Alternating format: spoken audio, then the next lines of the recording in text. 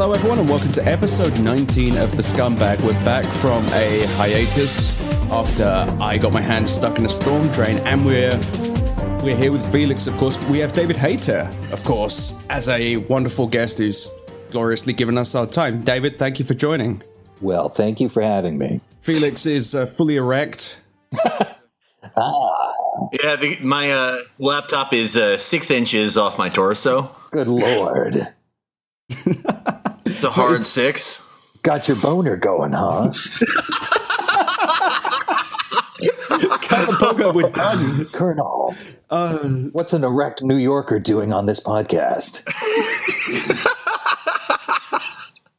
uh, this is going to be the day that Felix dies happy. Or is Yeah. happy. Finally, I can stop fucking podcasting after today. Sweet.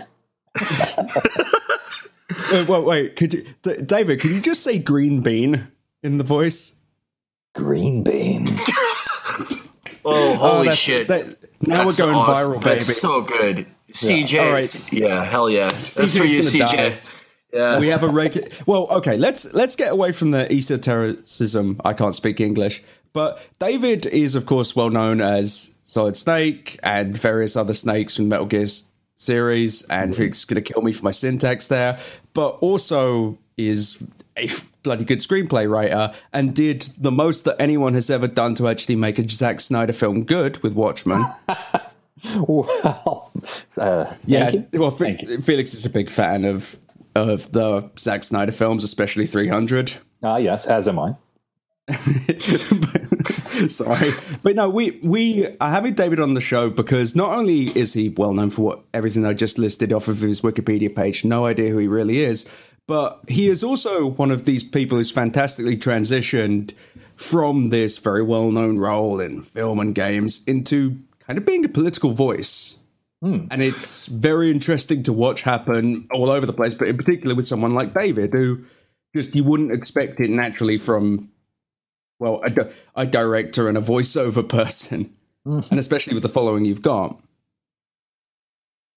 Uh, is Yeah. that right? I, I, you know, listen, I am, as a Canadian, I'm extremely well informed on American politics, and uh, I, it's difficult to stay silent when you feel that terrible things are are occurring. But at the same time, I try not to bore my larger audience. They're, you know, the people that come to my Twitter feed or whatever for Snake aren't necessarily interested in my political views. So I've started a, a side Twitter uh, called, uh, at political hater for anybody who cares, you know, to know what I think about any given issue. I was actually wondering if that was you.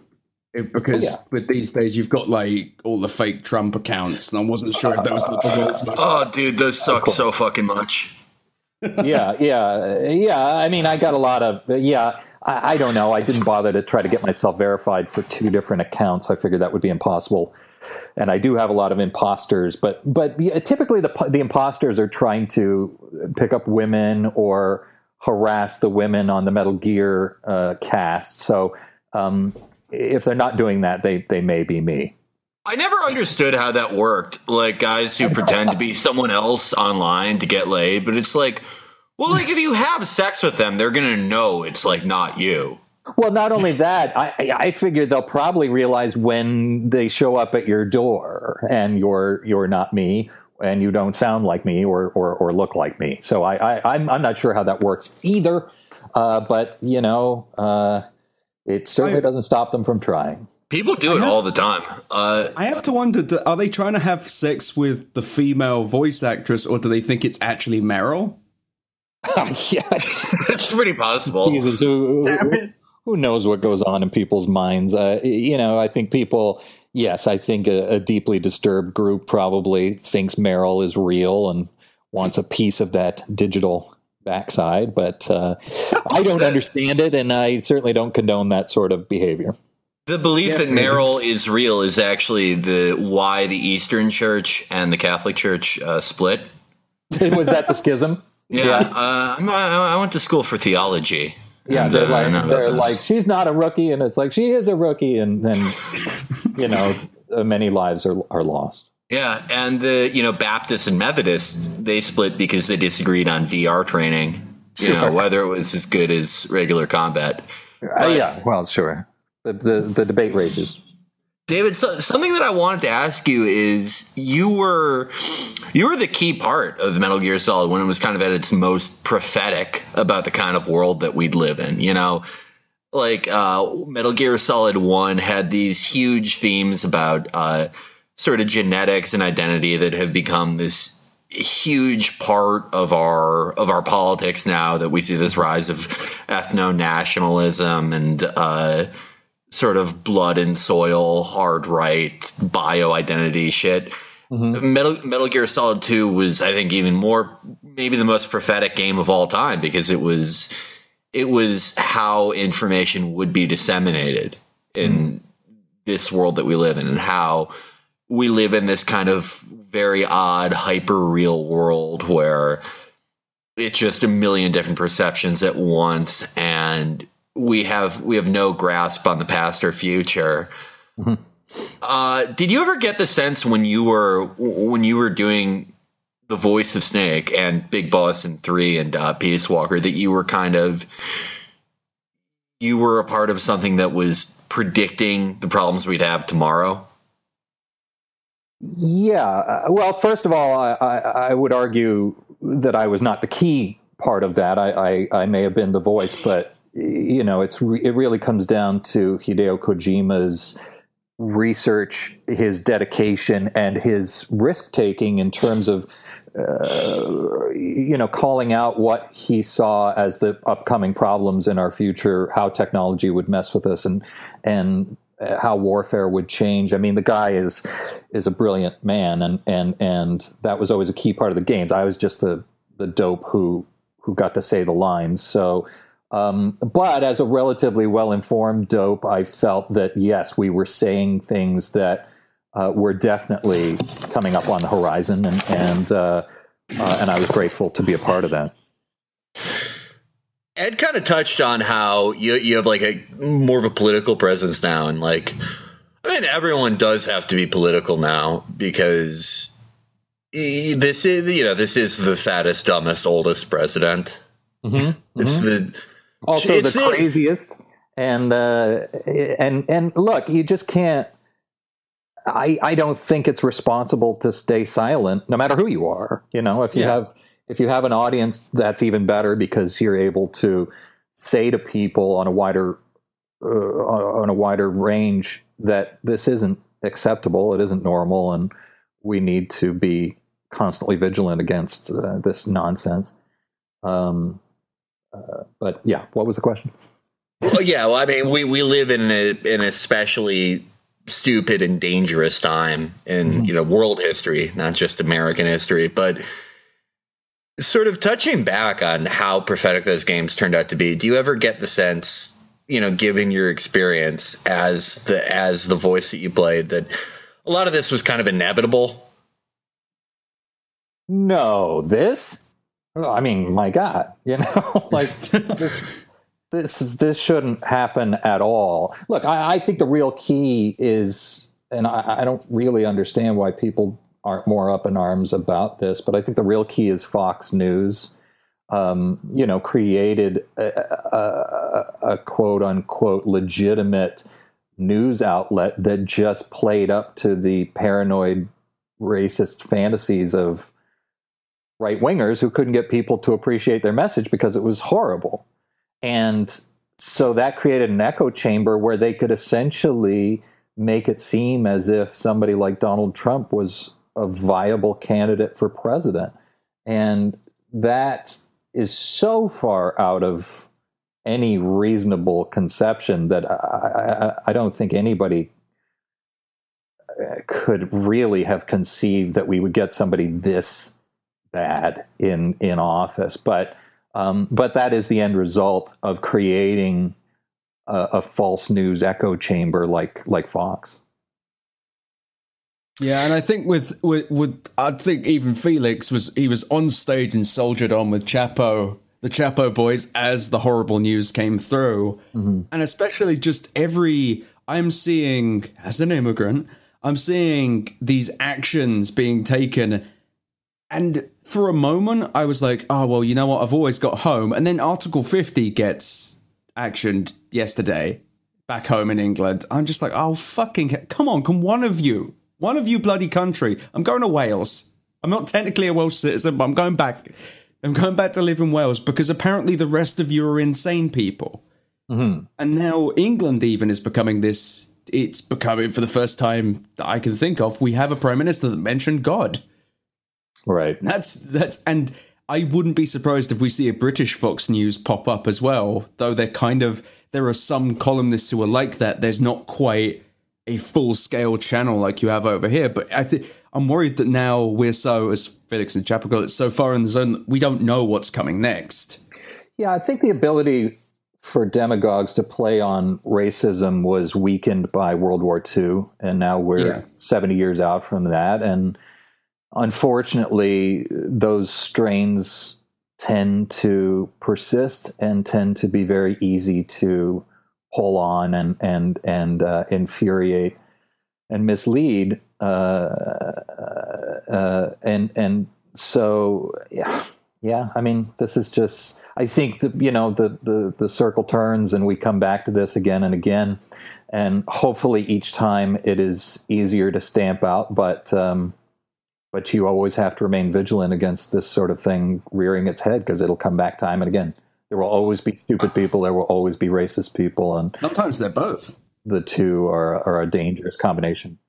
Well, very often they're both, and Yes. that's uh, that's a shame. I think that there was, I mean, you know, there was kind of a sense that there, there, there wasn't exactly a group called the Pat, the Patriots in the w- real world, but there was a sense among, I think, most people in a in a certain sphere that like, you know, Trump couldn't win. Uh, Brexit couldn't win. All this shit, all this rising tide of nationalism couldn't win because the established liberal order of the world had so much to lose and they just wouldn't let it happen. And I think looking back, that was just something that we like to tell ourselves that the the sort of masters of the universe were more in control than they ever actually were.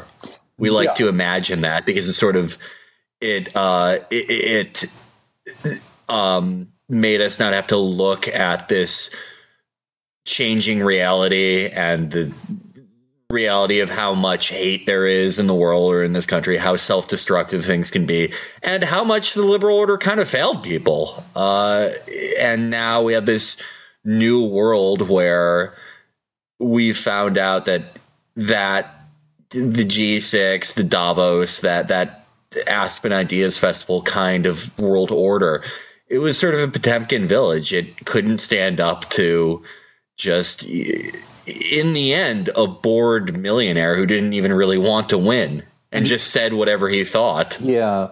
Well, listen, I would I, I, a couple of points there. I, I don't think the liberal order failed us. I think every time we get a a, a liberal president in, like Clinton or like Obama, our our world gets you know more peaceful. Uh, the economy gets stronger. Um, it's clear that that uh, those policies are are more beneficial for the world in general. Um, what failed us is, uh, and and and and and I uh, I also think you know the patriots, if there could be such a thing, are the billionaires that that run the world, the the people that run Exxon, the people that run GE or whatever. There's you know twenty mostly men who who wield enormous influence in the world. But the thing that outweighs them all is celebrity. Um, Yeah. You know, and if you're a celebrity, if you're extremely well known, like Oprah talking about running for president, well, Oprah can win because everybody knows her name. Most voters don't go much beyond their own ability to name check the candidate, and uh, and celebrity is enormously powerful. You know, when I- when sorry, when George Bush was uh, president, I was very concerned that maybe the whole system is rigged. Maybe somebody that dumb, you know, can be installed by the world order. But then when Obama won, I realize that's not true. It's it's really there really is a swing to the electorate, which incredibly is usually a 51-49 split, which uh, is amazing to me. And you know, and then and then Trump. I don't think the world's powerful. The Koch brothers certainly didn't want him to win, but um, but there is flexibility in the system, and if you are a celebrity uh, and you are good with manipulating the media, uh, you can accomplish a pretty surprising. You can you can amass a pretty surprising amount of power. And I think and uh, well, one thing that really stuck out as well, and you can, in the end of Metal Gear Two, this is where I'd I'd pull it in. that there is also just this feeling of, and it's ironic we're doing this while also discussing what happened. There's no real rhyme or reason. I think that that's part of it. That we all have this, and the end of Metal Gear Two, there's this thing where Arsenal clearly had everything in control and it could never be stopped and there was never going to be anything wrong and just one guy with a like one guy just went and kind of messed it up mm. it was over goodbye the big the big thing ended i think everyone put this big faith in that the system would work and they're still doing it to an extent that mm-hmm. just this guy couldn't just go on and have these horrible things said and i mean he couldn't just go on tv and make fun of a guy with goodness i don't even remember what physical condition yeah, he muscular, had. Muscular dystrophy, I believe. Yeah. Yeah. He did that on TV. He basically went on TV and said things that Felix joke tweeted. And uh. And he just did whatever. And everyone's like, well, the system will work. He couldn't possibly get in. And I think that maybe a lot of that was why that well, that and the I would argue some lack of some a lack of charisma with Hillary Clinton, in my opinion. Oh yeah meant that people were just kind of apathetic and just thought this guy is such a bumbling doofus. He's just going on and saying whatever. He's the podcast president. He's just going and rambling in a non-specific order, not really remembering what questions he was meant to prepare. Mm-hmm. But he's never going to get in. He's never going to have that power. And watching it all fall down, and still watching him still do stuff just with complete disregard to if any like checks and balances, and the checks and balances kind of being obviously built for a system which has a president that respects them. I think he mm. isn't. But everyone's also claiming he's doing this 4D chess thing. When really, I just think he's doing whatever. He's just kind of going there. No, I mean he, he doesn't like th- he doesn't th- think at all. He just stays up till like 3 a.m. and like sees shit on TV and gets mad about it. The thing that dominates his thoughts are like bullshit New York real estate or media grudges from 40 fucking years ago. This is amazing when people think he's like a strategic genius, but yeah, no, that's that's ridiculous. Back, he, he, the guy is not yeah. playing one D checkers, but um, but you know, Bannon and these people behind him are they do have a worldview. They do have um, a certain amount of media savvy, and they are manipulating him to their own ends, which is which is pretty terrifying. But but on the other but on the other hand, you know, I think there are you know there are for the moment anyway checks and balances. The he he learned the hard way that Congress is not easy to to bully, uh, nor is the judiciary, nor is the intelligence community. So hopefully the system will continue to if Felix had 15 minutes with Trump, because the last person, as Felix has said, that talks to Trump is usually the one that informs his opinion. If he right. had 15 minutes, he could convince him the Shadow Moses incident was real.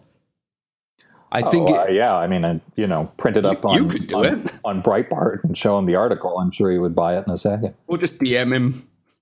Yeah, yeah. I mean, he is he is the podcast. He does the same thing which I do. I'm a, as a podcaster where I don't prepare at all. I don't know anything.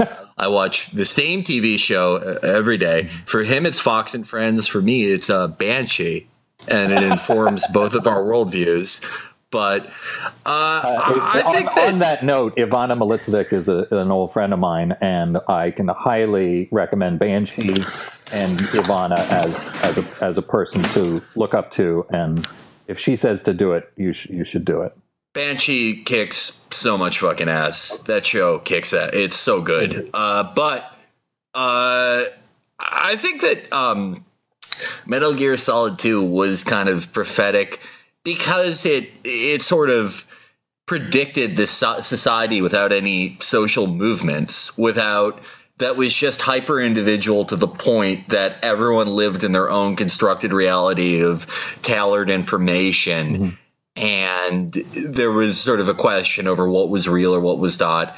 And people were powerless not because of a totalitarian government necessarily, but because there was no unified social movement. And, you know, when we were talking about swings in the electorate, you know, it was, uh, you know, Obama was the first person I ever voted for. Mm. He ran when I turned 18, and it was amazing to see him win.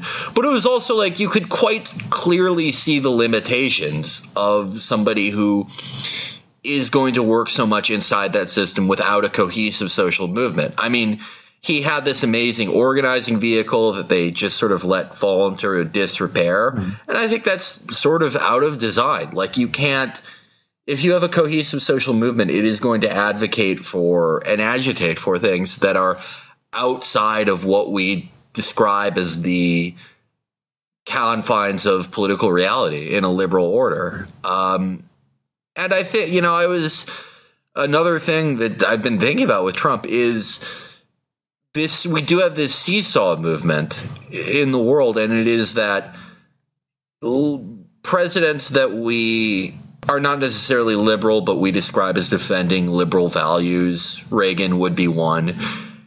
They have a habit of backing up these highly reactionary groups in foreign countries, be they the Taliban or the Haqqanis in Afghanistan, as Reagan and Carter did, or you know Nicaraguan death squads, and they they create these mass movements of people, and they end up create it ends up coming back to us, and it creates these social tensions which play into a rightward shift, a nationalist shift, a racist shift. I mean I think undoubtedly Trump is sort of the consequence of people who had their worldview defined by 9 11, unfortunately. Yeah. And I also don't think 9 11 is very unlikely it would have happened if we didn't go dick first into Afghanistan starting in, you know, 79. And I think we could talk about the, the, the electoral swings and the triumphs of the liberal system, but I think this is a key feature of the liberal system is this swing that we get as a consequence of our international activities, even under liberal Democrat presidents. Yeah, yeah, well, I don't think that's a I don't think that's a result of liberalism as much as it is a, a quest for profits. Uh, you know, I think 9/11's backlash was primarily out of our dealings with Saudi Arabia and going in and um, you know propping up uh, immoral regimes for the sake of oil profits, and that comes back to bite you in the ass. It's it's. Um, I think it's the I think it's the betrayal of liberal values and saying, well, look, we care about human rights at home, but we don't care about it in oil producing countries because we really want that oil. So.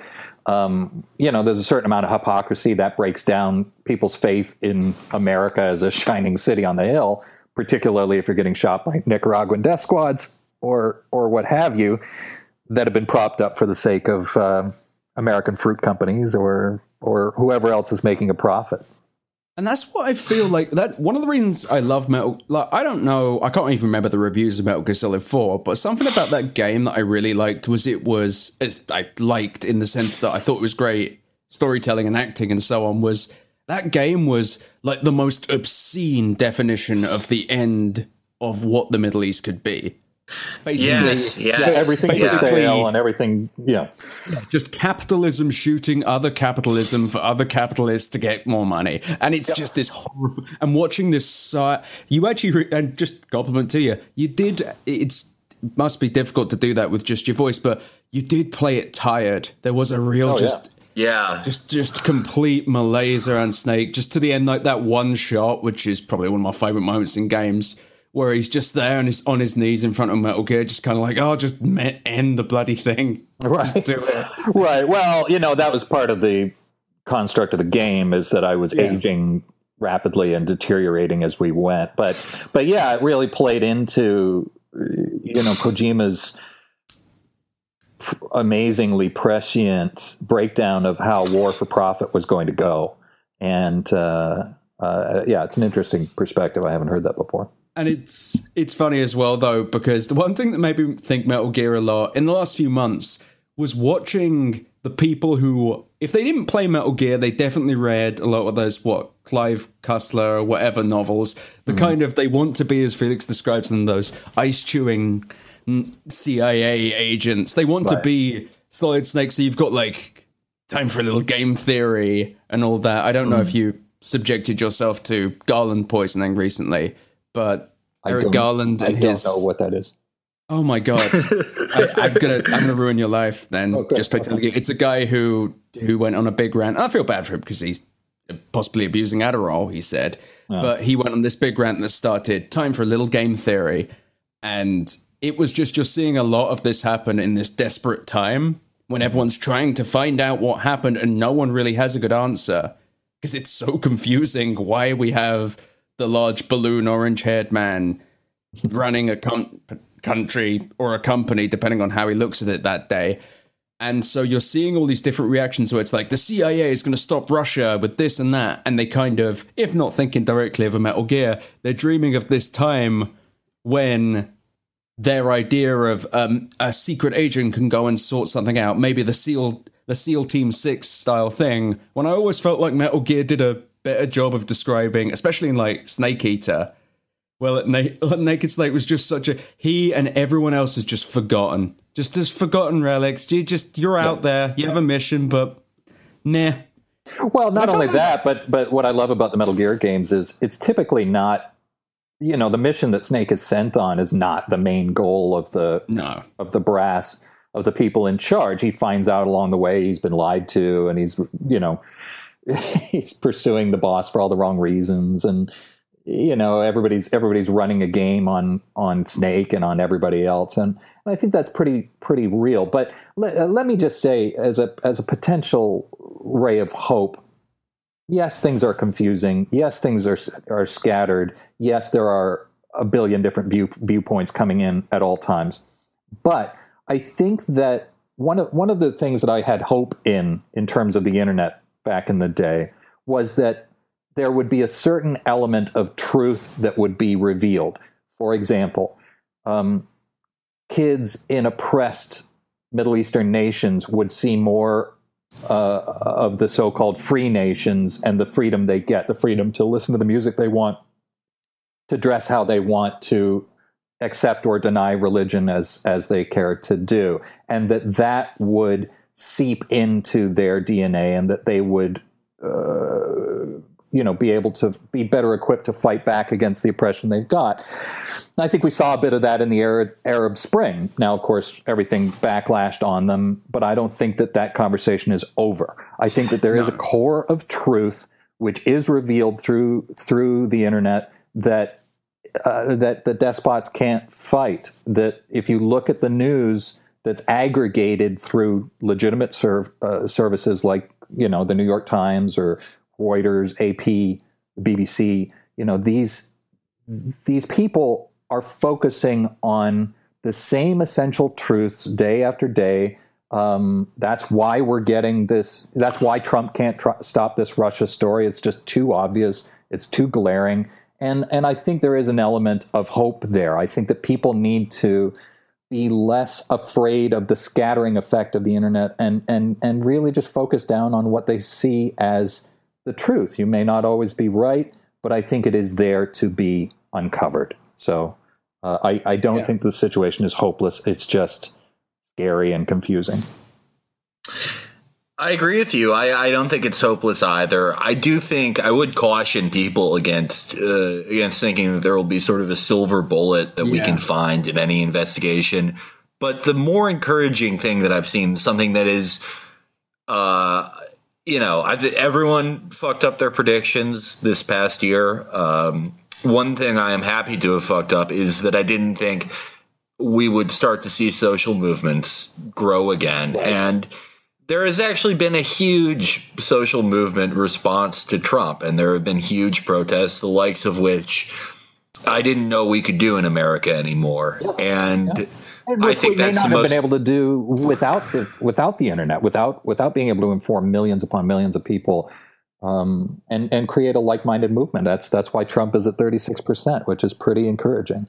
and pretty yeah, it's very yeah it It took us like 60 for Bush to get there. We needed to, to destroy two countries, to kill 3,000 American soldiers, to to to dr- yeah, to drown a fucking major American city for two US reps to turn out to be pedophiles. Yeah. For Bush to get to that point. And it had took to die. yeah, it literally it took so much dead bodies for Bush to get to that point. And Trump has killed his fair share of people at this point. He has his, you know, the military under his his guys has committed horrible war crimes, you know, even worse than that which Obama committed in 2009 in Yemen or in uh, Kunduz. But it's it is good that it took us this quickly to get to this point. Yeah, and- People, I and- think people did other- give him a chance. And one other, uh, uh, one other bit of optimism. You know, you were saying you don't think that there will be a silver bullet. I don't think people should hang their hang their hopes on a silver bullet. But remember, this guy is so dumb and cannot shut his mouth ever, whether he's being recorded, especially if he's being recorded or not. So, for him to be talking out loud on tape about collusion with the Russians, I don't think is beyond uh, possibility. Uh, Yeah. You know, this is not a savvy operator. You know, this is just a, a, a free floating id that spews whatever's in his in his head. In fact, you know, somebody was saying, I think it was Samantha Bee or somebody was saying, you want evidence of collusion with the Russians. This idiot went out at a press conference and set, told them to release Hillary's act, hacked emails. So, you know, I, I f- would not be surprised. I would not be surprised if a silver bullet did not show up. But if a piece of tape showed up saying uh, with, you know, uh, Trump talking directly to Putin about how they were going to screw over the American people, that would not surprise me either.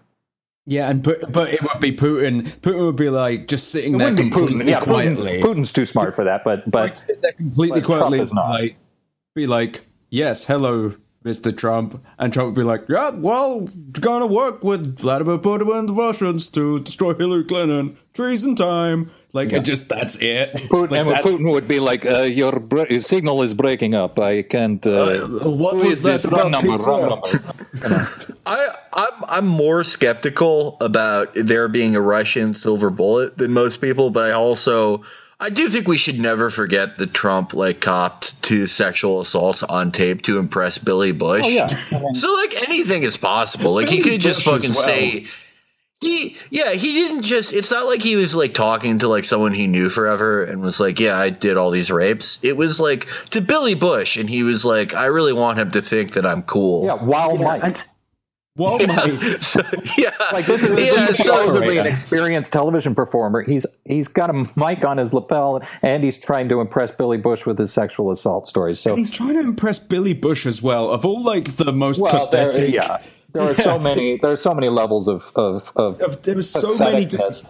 Well, I think that that was also so indicative, though, of how much of a desperate, anxious, sad man he is as well, though, because he's Yeah. so desperate. He's like, like, like Felix was saying, is like angry about like forty-year-old real estate deals gone wrong. Yeah. mad, mad that people are mad at him for hiring illegal immigrants that he hates but also uses. I mm-hmm. mean, he's just, he's just this it, there's something deeply depressing about it, and I guess I'd feel sorry for him if he wasn't just categorically fucking so much of the world up. Yeah. But it's also the weird encouragement I got, and this is a really minor thing, but was watching the Breitbart comments section about this whole internet freedom thing. Or well, it was the the Right. ISPs now can legally like show that I'm looking at hentai or whatever. Mm. And like watching the comments section go there because it just shows how thinly they actually truly believed in him or stood by anything that really they were just looking for a chance to say the N word and it'd be okay. Uh huh. Yeah, uh, yeah. Well, I mean, look, the, the, that's the real thing. Is all of these policies? You know, I tweeted about the liberal tears mug. Everybody was tweeting, "I'm drinking liberal tears," and I was like, "Drink them up, guys. They were for you."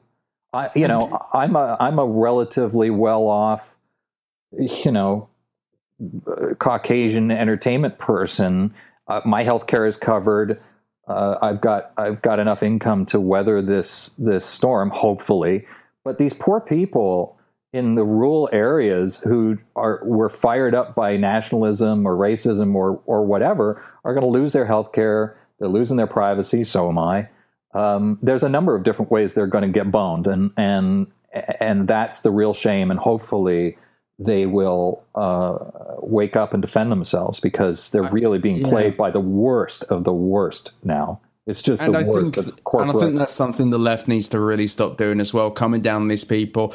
You know what? I can kind of get if you're that angry what saying this. I just hate I hate it because it's kind of playing into the kind of hatred that got us in this position. Mm-hmm. The people who are like, yeah, the Trump people deserve to die if they vote for Trump. It's like, no, it's actually really difficult to vote. If you think about what yeah. voting is and how much you truly would need to know, even if you were day in, day out reading politics, you could probably still not make a totally informed vote. And yeah. the, and, well, the, I, and these yeah. people, these people are just they're probably not particularly well educated. But even I, I wouldn't say I'm like a super smart person, but I read enough, and even then I was like, I don't really understand totally what either person is doing. Well, I mean, th- these these people also. I think it's important to keep bringing this up every time Trump does something that fucks over the working class, which is every single day he there's an executive order or something he puts out that does this, people talk about, you know, coal miners. Like there are any fucking coal miners left in America. Mm-hmm. Look, they blame poor Trump voters and you know what? There really aren't that many poor Trump voters because poor people don't fucking vote. I am so sick of the obsession of the sort of the liberal punditry of shitting on this mythical white working class Trump voter. There are some, but Trump's base are it's like any authoritarian movement in history. His base are rich suburbanites or mm-hmm. middle class suburbanites. And we have this obsession with sort of beating down on these people in West Virginia and shit. And yeah, like he he won there, but his base is not the working class. And I think we we really have to understand the working class doesn't vote because for many reasons. I mean, they can't get a fucking day off. Like they don't have the choice.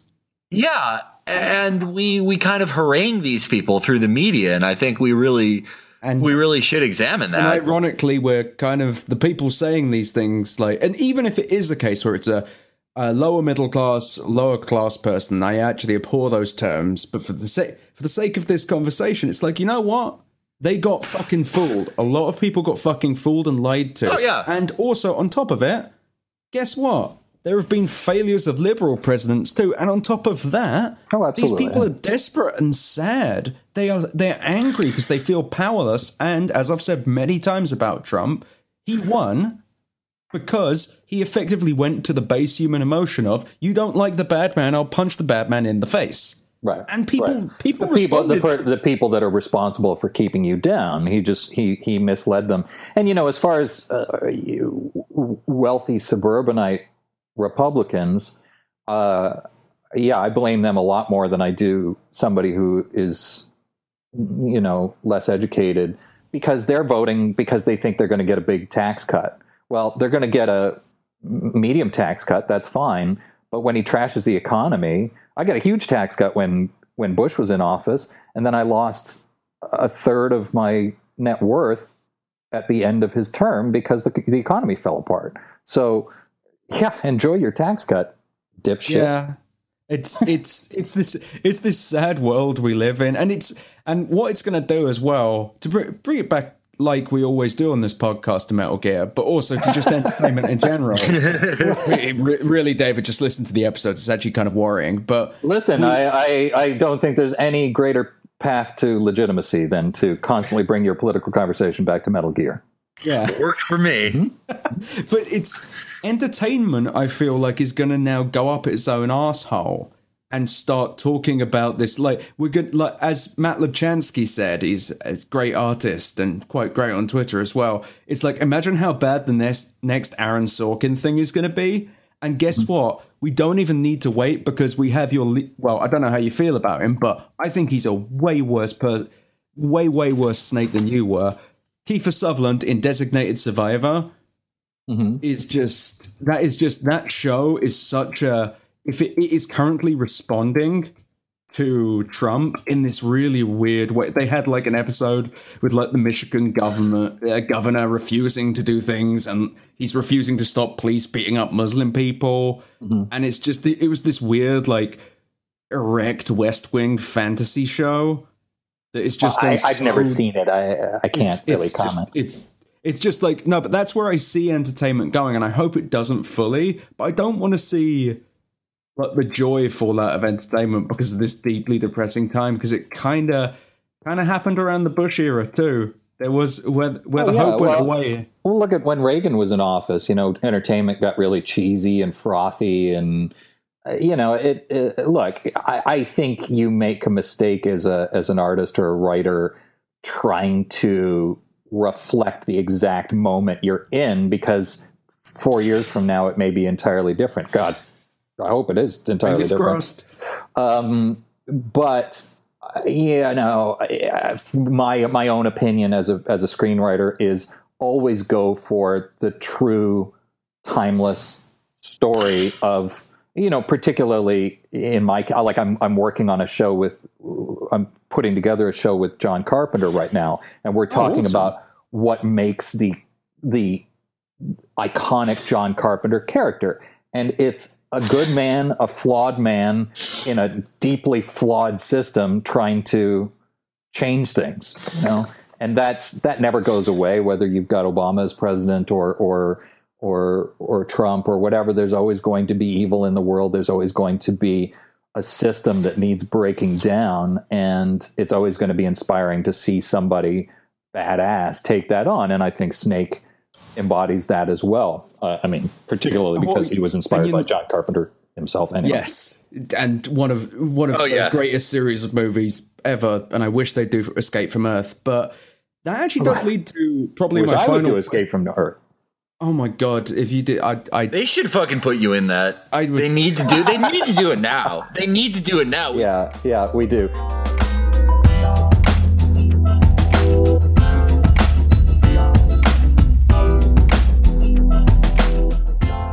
Well, now I actually have a really important question for you, though, then about Black Widow. Uh-huh. Because I feel like uh, it was like two years ago you brought it up again, and I, did, you finished that entire script. I feel like now is the time that we need it, but oh, I, I, tend to agree. yeah, it's just it, well, to your theme of, and especially with I thought Civil War was kind of meh.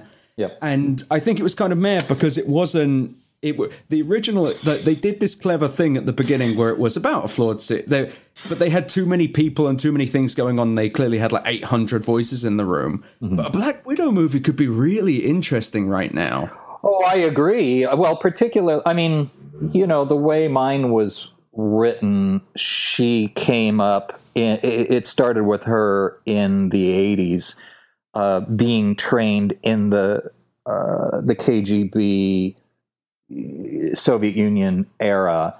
And so, you know, I think it's valuable to talk about that regime and that that government construct um, as it applies to to all of our problems today. Metaphorically, it's a it's a it's a construct that, especially when you put a ch- child at its mercy, is particularly merciless, is particularly indefensible, and and really puts things into perspective. You know, when we had the Nazis or the KGB or whatever, things were a lot more clear cut. Now, yeah. now we don't even know if our president is a tool of Russia. So everything is is a little more muddied. It's it's it's a lot cooler to see something that is clear cut and to be able to now say, we, yeah, that child should fight back against that system because that's inherently unfair. And even the terms of war that we work within, um, MGS4 again, naturally. Mm-hmm. Even then, MGS4, you had some robots, and Revengeance, I realized you weren't really part of, but nevertheless, you had like robots. But now you don't even necessarily have troops doing anywhere near as much of the fighting. We are getting this weird, like, just drone strikes are happening, which is dehumanizing war. Mm-hmm. Which is a scary concept unto itself because it's like, why are we fighting? Oh, does it really matter? We blew up this thing. Mm-hmm. Because we like okay, we, we because no one's really pulling a trigger, no one's thinking about the action because a robot's flying into it, and we're in this terrifying world now where I wonder how far that goes. And I mean, I, I wish that they do a Black Widow movie. I don't know about the casting of Scarlett Johansson. I mean, actually, that's a good question. Who would you have actually cast though? If if you would have cast her, Oh. that's a fine answer. Well, back in the day, I don't know. We were talking about the attractive redheads of of the world. We were talking about Jessica Biel, and we were talking about. Um, I, I don't know. I, you know, I'm I'm I'm I, I like Scarlett quite a bit. I, I think she she is such a star that that at least it it draws an outsized amount of attention to your movie. Um, but it's it's not real. Sa- sadly, including Lucy. Yeah, it's well, I like Lucy. I, I like Luc Besson. He's he's just he's Gonzo and amazing, and so yeah. uh, I kind of like Lucy. But um, it's it really comes down to the script. It really comes down to the ideas you're willing to put forward, that the studio is willing to put forward. Uh, and and are you willing to be edgy with it, or or does it all just get blanded out because you're afraid of offending anybody? That's that's that's that's, what- where the real problem comes in. And that's Not why you're probably going to see the Justice League movie be incredibly boring because it seems like it, it looks just so dull. I've yeah, never well, seen. it's like I don't know. I mean, I can't comment on that. know, my, my friends at Warner Brothers, but uh, but uh, yeah, that's the danger with these films. They you know they get so expensive that people are Well, afraid to say anything edgy one way or the other, and then and then you know, but th- but then you know, look at Deadpool, look at Logan, look at films that are are willing to take risks are are are resulting in better films. So cooler films. One one thing I do miss as well about the X Men films, which they really did bring back with First Class, and complimenting you was one of the reasons I really liked X and X Two was that they were fun. They didn't feel they they were still like they were very high stakes, but they were still fun. They still had that sense of adventure. And I think the more like we still we really more now than ever need that in film and entertainment. Need, That's that's something that's been missing from films for a while. I mean, I would I've been uh, going on a nostalgia tour of uh, er, early mid '90s action, and oh like, yes. dude, dude, watch fucking Out for Justice, best Seagal movie ever. Uh, Last Boy Last Boy Scout, Oh, one of the best. Also, one of the best action action movies now. Like most of the time, they're like it, it, they're all like the heroes are all like very bloodless, desexualized people. There's like nothing. They don't do anything fun or cool. Like you Or don't. human. You, just or Yeah. human, yeah. And in those movies, like, well, why did Last Boy Scout rule? Because Bruce Willis like played sort of this like fucked up loser who could kill anyone with a gun, and it was awesome. And and it was a kind of a, it also was very dark especially that immediate en- that entrance the kind of yes, Bad yeah, yeah, yeah.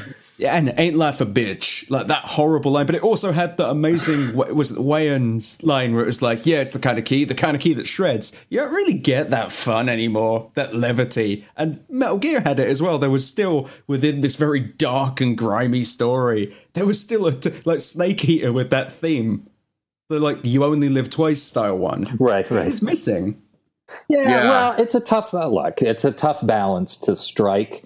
Uh, you have to have a director who is strong enough to, to make a statement. You know, like like uh, like Bryan Singer was on on the first two movies and on on the most recent movies, and he, I, I, you know, you, you just have to. The thing about making a good movie is it's all about overcoming the fear of the people that are putting the money up. Yeah.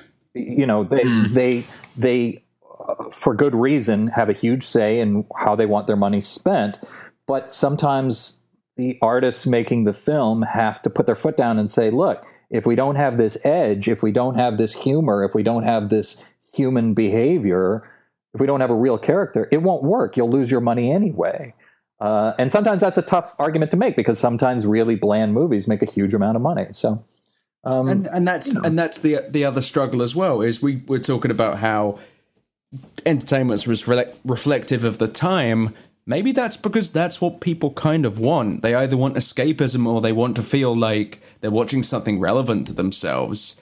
And that's why you i i'd argue you can look back and see it. Well maybe that i not being particularly old in the 80s the ton of amazing 80s horror movies these very distant horror movies. I mean, was it? It was the thing's Carpenter, right? Or am I Oh, yeah. completely wrong? Yeah, No, it, no, that's his finest film as far as I'm. one of the scariest spider-related things ever. And I Uh-huh. mean, it was just. Uh, but there- there were a lot around the eighties. There were just these amazing, gritty, grimy films, and I remember talking to my brother about it. It's just because people were pretty depressed. There's movies like Threads, if you've ever seen it, which was about a nuclear weapon hitting Sheffield. It was an example of the anxiety of the time. So maybe Hmm. that's a big part of it as well. And that's why we haven't seen this great amount of levity in entertainment recently. Maybe people, I don't think people were particularly happy with Obama towards the end. I don't think they felt respected. And I, I, Well, I, listen, I think that's a bunch of nonsense. I don't, I don't think there's a. I, not that they didn't were- feel well, respected. I think that's that may be true. I think they were respected. The man was incredibly Yes. respectful on all sides. He was one of our one of the greatest diplomats we've ever had in the White House. But he's got this horrific right wing media saying this guy's saying this and this guy's you, you know what? I, you and I fell into a trap. I fell Yeah, into they- a trap there because it's a very big thing we do here, but we talk about the administration using the name of the president. Mm-hmm. So that I, I fell into my own trap there. No, Obama was very respectful, but at the time, people felt help. People felt res- they felt helpless because yeah because fox news was telling them look if you're poor it's obama's fault and he doesn't care about you he you know and they'd twist his words and they'd say all these horrible things. And it was just nonsense but people believed it. And so Yeah. yes was there a large section of the electorate that felt disrespected? Sure. Was that based in reality? No. It was based in manipulation and listening to idiots like bill o'reilly and sean hannity. Or you take away necessarily the conservatism and demo- Democrat side there, and you just focus on this other thing, which is I think might really be the root the root of a lot of this, which is I really feel like people just felt because of the financial crisis. And I, this is my greater theory is you take away the some of the politics of it, though politics kind of affected this. It's that people had less freedom of movement. They had less opportunities. Loans were harder to get. yeah Loans were harder to get, mortgages especially, so people couldn't buy houses. The American dream kind of became impossible for tons of people as a result of really horrible things that happened under the Bush administration. And frankly, Obama walked into this mess. And I think that carried through because, and people fairly or unfairly, I don't have the answer. I don't think fairly personally, but I'm also quite dumb. I don't think it's his fault that the eh, the banks were allowed to basically just sit there and be like, yeah, we're just going to take less less and less risk, even though we had fun profiting billions of that. So they basically the banks and a lot of these a lot of these places where people relied upon the system to back them up aren't able to get loans. They they they can choose to go to college if they can even afford to get in, hmm. and if they can afford to get in, they go into debt. So they were in this horrible spiral. So perhaps take the administration out of it. It's just the the economic state we're in right now, and we're in made people desperate because mid, the lower middle and even upper middle class couldn't get loans, and so there was this anti-elitist thing, which was going back to your Fox News point, really bloody easy to play with. Ironically, with Trump, like the most elitist fuck in the world. Well, I mean, Trump is that kind of anti-elitism. It's more cultural than uh, class, but we also don't have that much uh, class consciousness in America. That's kind of, uh, which is kind of by design. Like, no one really wanted people. We have this massive group of tens of millions of people who are on the border of poverty, but not quite there, and they have this sort of pride in not being so poor that they can get Medicaid or or you know uh, Social Security or unemployment insurance, but you know it's sort of a hackneyed quote, you know, the one about temporarily embarrassed millionaires, but it is kind of true. Like there is a vested interest in people in America not noticing massive wealth inequality a lot of the time. Yeah, yeah. Well, and a lot of this comes from turning businesses that shouldn't be for profit into for profit businesses. So, yeah, you used to be able to go to college affordably, you used to be able to go to university affordably, and but they but the Republicans made it more and more for profit. They made healthcare for profit. They made you know, pretty soon we'll be paying to have the police come to our house or the fire department or whatever. They want to privatize everything. And you're the more seeing people that in get, Oakland. the more they, the more the Republicans succeed in blaming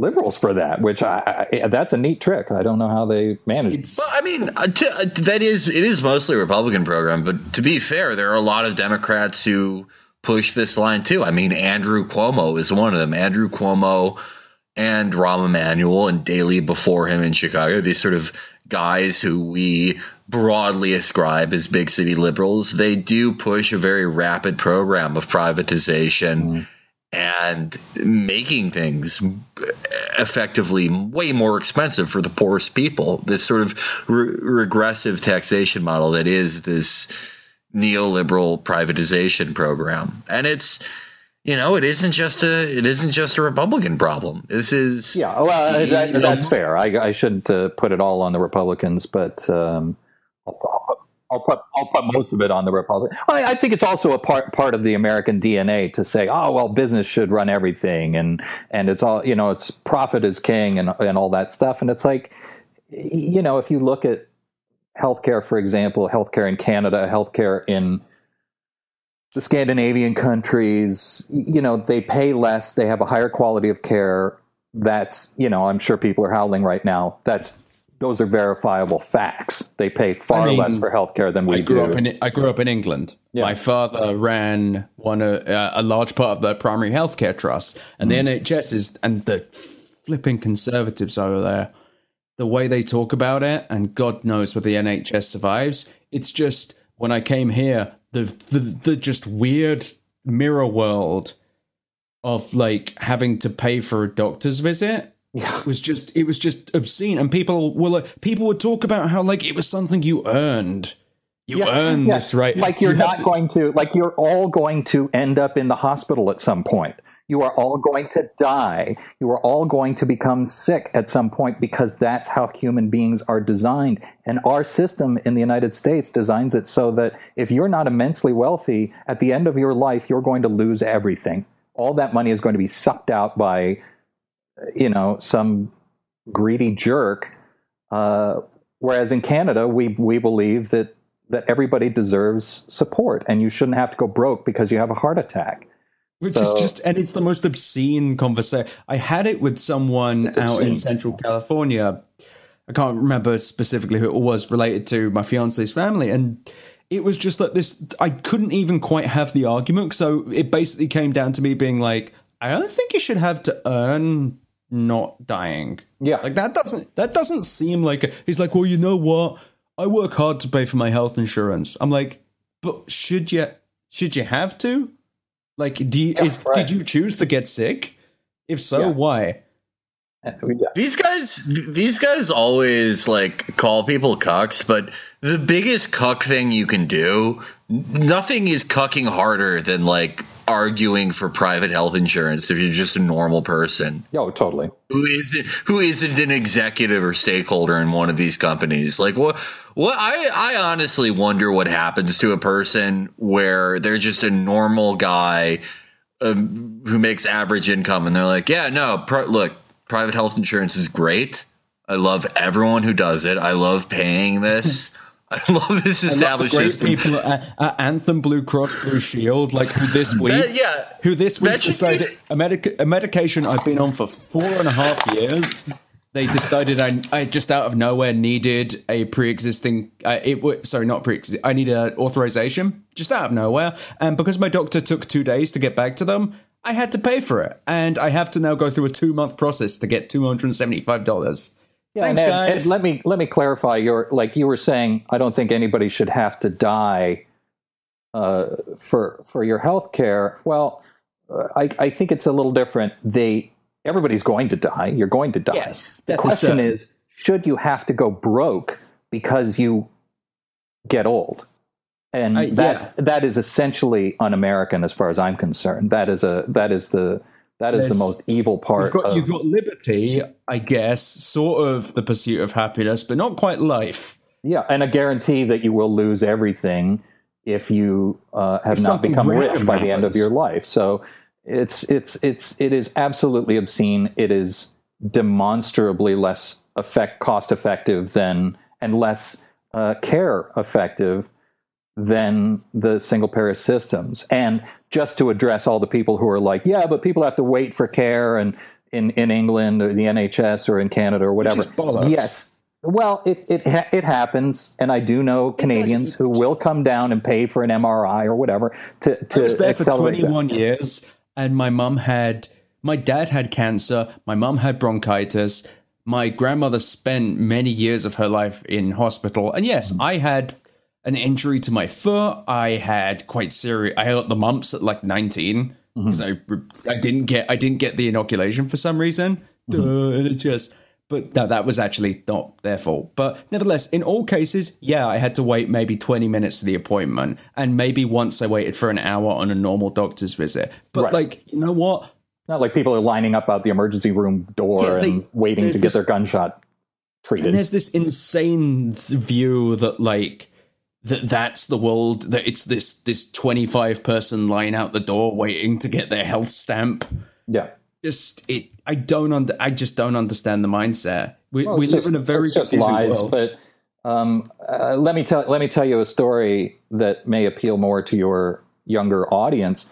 Uh, i was in tijuana with a friend of mine from canada um, and we i won't get into the details but there was a bit of a scuffle and my friend ended up putting his fist through a window and nearly slicing his the tendon of his thumb, his uh, his right thumb, right all the way through, and um, so we washed it out with bottled water as you do, and wrapped it in a napkin and went to bed. And then the next day, wandered across the border, went to the UC San Diego Medical Center he got his thumb, sta- his tendon stapled back together. They fixed him up. It was about a five thousand dollar bill.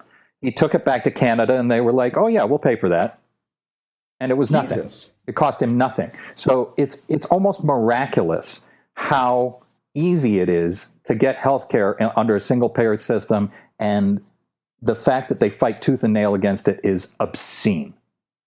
Yeah, I mean, even like, I mean, even poor countries like Spain is a far poorer nation than the United States and has 60% youth unemployment in some cities. Wow. But they're still able to pay for everyone. Right. It's when you don't like when you don't put literal trillions of dollars into fucking fighter jets that don't actually fly yeah, and everything else that we you're do. not going to use and yeah. No, there's a there's a fraction of the defense budget could be taken out and cover everyone easily, and the fact that they don't do that is obscene and irresponsible. We just today it was announced that they're putting Chris Christie in charge of like solving the opiate crisis. Friend, friend of like, the show, congratulations. Friend of the show, Chris Christie. But it's like, how much are they spending on that? Like, how yeah. much do they spend on that? Just these programs run by like highly reactionary, stupid people that aren't going to accomplish anything. Well, and if you and if you look at Chris Christie, you know you can tell that that man is a paragon of personal discipline and yeah. uh, responsibility. Like that is a guy who would never abuse his body, and.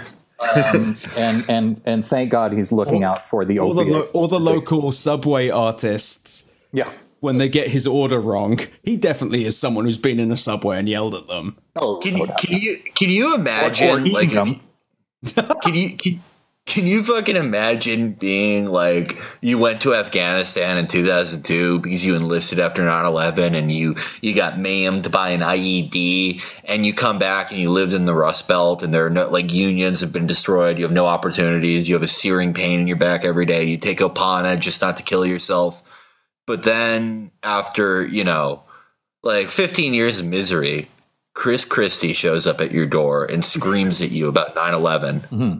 Yeah. That's this is a great program. I'm very excited to see what he can accomplish. He's going to save the part of the country I'm from, the Midwest. He's going to Midwest and is coming back very specifically as well. Like not like all drugs, yeah. just some.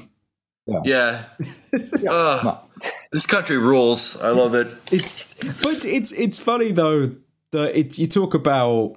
I think it's a good place good place to round this back to to the to the end of the podcast, but also to Metal Gear again because we it's all we talk about on the scumbag. But, Chris Christie was Fat Man from Metal Gear Solid 2. Yeah. Time is short. It really is for him. Um, but it's it, but it's it's funny though because those games I remember doing well, and I remember getting that that beautiful box set one. They're really expensive. I saved up. I got that lovely big boxed edition of the first one. But throughout those games as well, it's weird when they were reviewed. At least in England, I remember people talking about how it like fetishized the military. But when you actually looked at it, Snake himself was kind of pathetic. He was there were so many points where like they did the moments where like the scientists peed themselves, but just about everyone who was a soldier, mm-hmm. who was even strong or had a big gun, kind of at some point looked kind of shitty and lame. Like, like everyone, everyone got like liquid ended up in someone's arm. Like he was just like, like yeah, yeah. Ocelot yeah. went from this like handsome guy to looking like a guy who spends like five like 500 grand a year on the slots in a Harrah's. And well, you know, my, my, just... my theory on that, I think, I think Kojima, I can't speak for him, but I will. Uh, he, I think he felt a little trapped by his creation. Uh, you know, in Hollywood, we call it the golden handcuffs. You know, he had to keep, he kept saying, I'm not going to do Snake again. I'm not going to do Snake. And the demand was so great, he kept coming back. And Snake kept getting more abused and kept getting older. And then Raiden tried to take over. You know, it was like this constant bashing of his own creation, and I think uh, some of that frustration came out through the through the design. Of the well, I mean, you've got that you've got that amazing voice you did, and like it's this kind of this very the the whole mat the machismo of the whole thing, and even in sadly the one you didn't voice, they've the, I think Kojima and the Metal Gear series did something very powerful with the storytelling, which was the Sure, on the surface it might look like, and especially in the Twin Snakes, which was my favorite version, and you you made a big sacrifice, and thank you. Oh, please. It's it's thank you for your service, but it's it's it's one of those things where when you really look like even a level deeper, everyone looks terrible. Every single person. Snake is just a little bit on the moral high ground, but he's still a mass murder. He still killed so many people. Mm-hmm. So many people are dead, and he's part. And in the end, he is not. He's he's like a clone. Mm-hmm. And it's just this weird. It's just this weird storyline that's quite quite magical in its geopolitical discussion, but also just how there are vast swaths of people who have no respect for or consideration of human life, not just on the macro level, but on that micro level, that every game is this collection of just forgotten people. No matter how powerful you are, you might be a Volgin who gets pulled up again to fight again, or you might, like you said, maybe Kojima felt tired. Maybe it was always his plan with it, but Snake just, by the end of it, was just this old man. He's just like, oh God, do I have to? Yeah. Raiden yeah, kind well. of seemed excited, but eh, that guy was crazy. Raiden was fucking nuts. but he he represented the player. He really did. Yeah, he he he really did. And I felt like and and thank you so much by the way David for coming on. I think this has been yeah. fascinating because it's discussing more than just the beginning which was just and I have a list of at least 100 phrases for you to say. But it's it's been interesting discussing with someone who has effectively had to act out such a story and watching perhaps not all of it, but some parts of it come true. Yeah. And thank you so much for coming on the show. It's been such a pleasure. Well, thank you for having me. It was a it was a fascinating conversation and nice to talk about something different uh, for a while, yeah. but also nice that it didn't stray too far from Metal Gear, which is uh, which is uh, that game we all know and love. Thank you so much. Indeed. Well, thank you, gentlemen. I appreciate it. Uh, I, am always, always happy to come back. You go through the rain, and someday you'll feed on a tree frog. It's ordeal, the trial to survive.